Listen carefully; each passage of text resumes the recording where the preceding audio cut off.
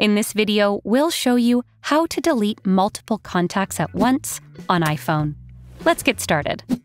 First up, open the Contacts app on your iPhone or access the Contacts section within the Phone app.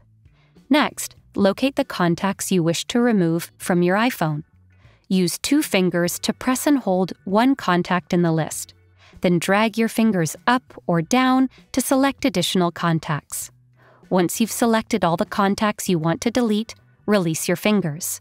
If you need to add more contacts to the selection, repeat the process. After selecting the desired contacts, press and hold one of them to reveal a menu. From the menu options, choose Delete X Contacts, where X represents the number of contacts selected. Confirm your action by tapping on Delete Contacts in the pop up window that appears.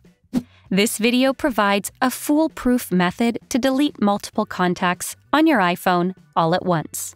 For comprehensive tech solutions, subscribe to Guiding Tech and make sure to explore one of these videos for even more tech enjoyment.